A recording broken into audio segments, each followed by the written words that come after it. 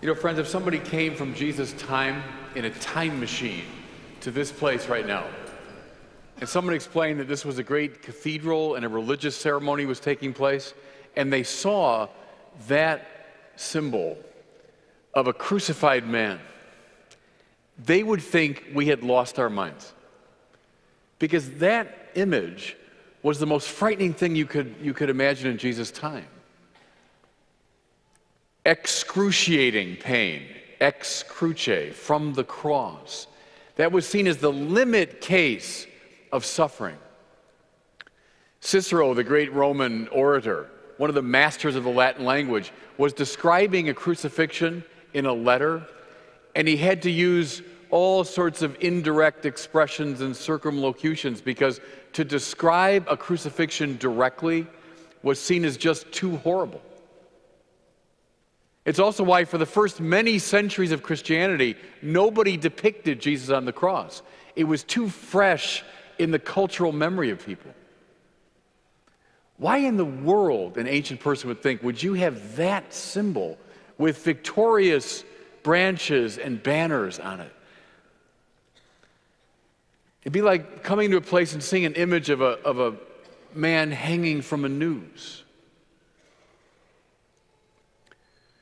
Christianity turns on the wonderful poetry of the cross. What did they see in this sign?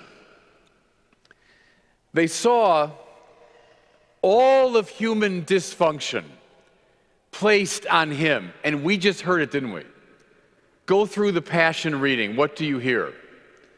You hear of stupidity, you hear of hatred, you hear of cruelty, you hear of violence, you hear of institutional injustice. It's as though all the darkness of the world came upon him. And he swallows it up with that phrase Father, forgive them. They know not what they do.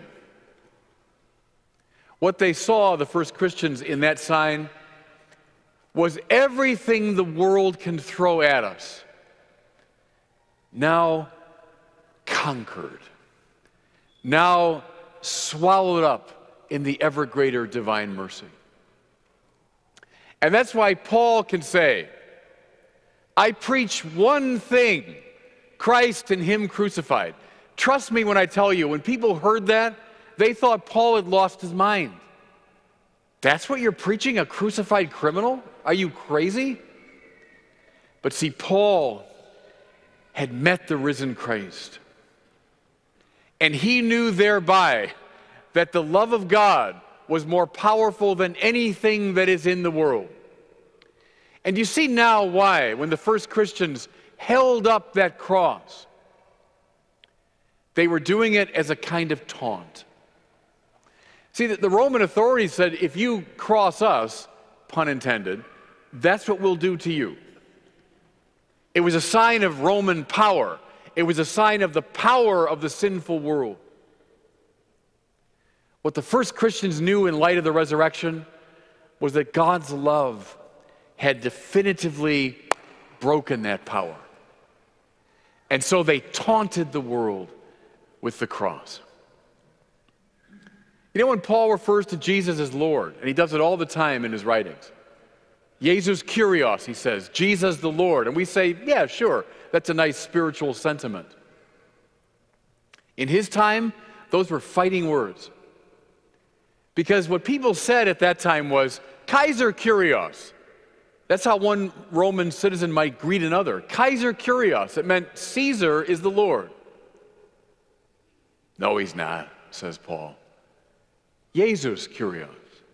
Because someone whom Caesar put to death, God raised from the dead. And therefore, Jesus is the true Lord.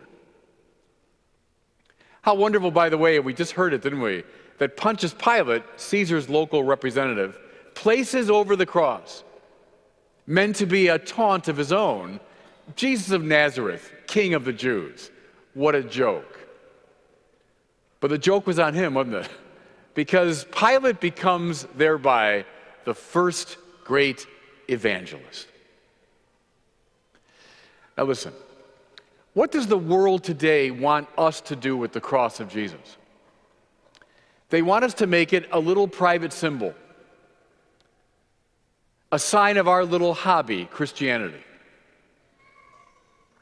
But that is repugnant to the Bible because that sign is meant to be held up to all the world, announcing that there is, in fact, a new Lord, a new King. What did Jesus himself say? But when the Son of Man is lifted up, and he meant that on the cross, when the Son of Man is lifted up, he will draw all people to himself. Now, now, that's the work of the church. That's called evangelization, isn't it? The good news, by the way, euangelion in Greek, evangelization, well, that's a taunt as well. Because in ancient times, an evangelist was someone who went ahead with the good news that Caesar had won a victory. The first Christian is saying, no, no, no, no, just the opposite. God has won the great victory. And so today, and every day of the year, let us hold up the cross of the crucified Jesus as a challenge to the cruelty and violence, injustice and hatred of the world as a sign that we know that the true Lord is Jesus.